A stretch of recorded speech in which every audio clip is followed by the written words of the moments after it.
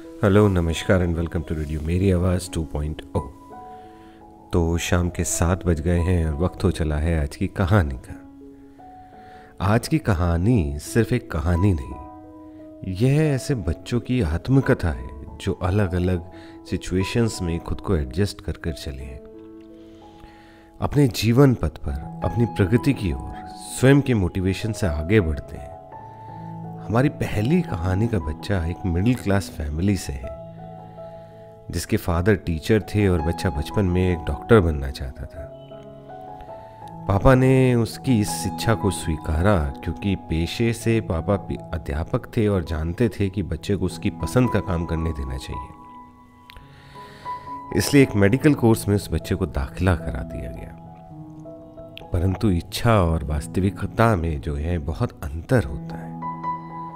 और जैसे जैसे समय बीतता गया, बच्चे को लगने लगा कि दुनिया में कितनी बीमारियाँ हैं, कितने दुख हैं, कितनी परेशानियाँ हैं, जिसकी वजह से वो अब दुखी रहने लगा था, उसका मन उचाट होने लगा था। और एक दिन उसने यही बात अपने पिता से डरते डरते साझा की। तो पिता ने खुले दिल से उसके निर्णय का स्वागत किया और उसको वापस बुला लिया। इसके बाद बच्चे ने बीएससी करी एमएससी करी बीएड किया। और बतौर बायोलॉजी लेक्चरर छत्तीसगढ़ के ट्राइबल एरिया में अपनी पहली पोस्टिंग पाई।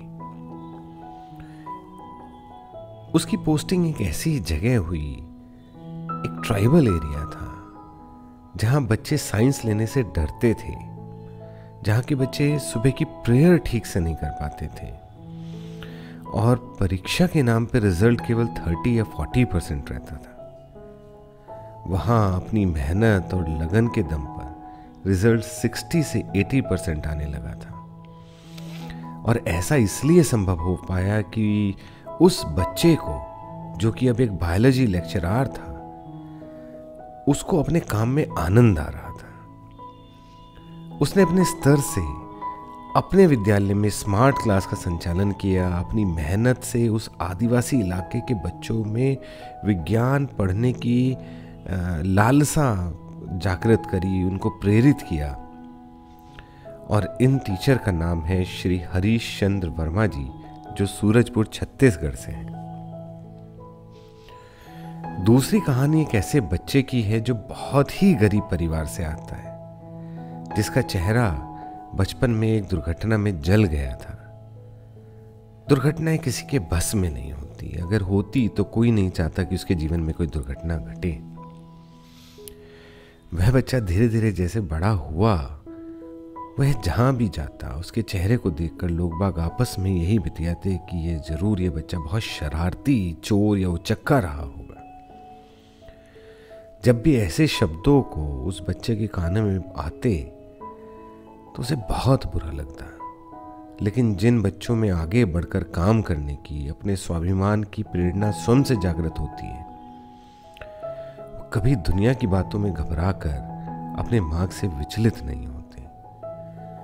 उस बच्चे के लिए भी ऐसे शब्दों ने मोटिवेशन का ही काम किया। शरीफ और आज्ञाकारी वह बचपन से था, लेकिन अब दुनिया को कुछ कर दिखाने की तमन्ना जुनून उसमें हद से ज़्यादा हो गया था। बच्चा दिन में पढ़ाई करता और शाम को मजदूरी करता। दिन रात उसके कानों में वही शब्द गूंजते थे और उसको प्रेरित करते थे कि उसे इस दुनिया को कुछ ऐसा करके दिखाना है जिससे उसके चेहरे को से उसको ना आका जाए। मैं अपनी मेहनत से ही अपनी ग्रेजुएशन पोस्ट ग्रेजुएशन करता चला गया और एक सरकारी अध्यापक के रूप में उसने जीवन का नया अध्याय शुरू किया। जिस भी विद्यालय में आज इसकी पोस्टिंग होती है और इनके अपने भी गाँव में सब जगह एक छोटे बच्चे से लेकर एक बुज़ुर्ग व्यक्ति तक आज मिसाल देता है इनकी मेहनत की और अपने बच्चों को इनका अनुकरण करने की प्रेरणा देता है। ये हैं श्री राजू साहू जी छत्तीसगढ़ से जिन्होंने ये साबित कर दिया कि बाहरी रंग रूप आत्मिक सुंदरता लगन और हौसले के सामने कुछ भी नहीं है। अब आप ये सोच रहे होंगे कि मैंने इन दो अध्यापकों की कहानी आपको क्यों सुनाई? So the moral of the story behind or you can say the uh, moral behind the entire conversation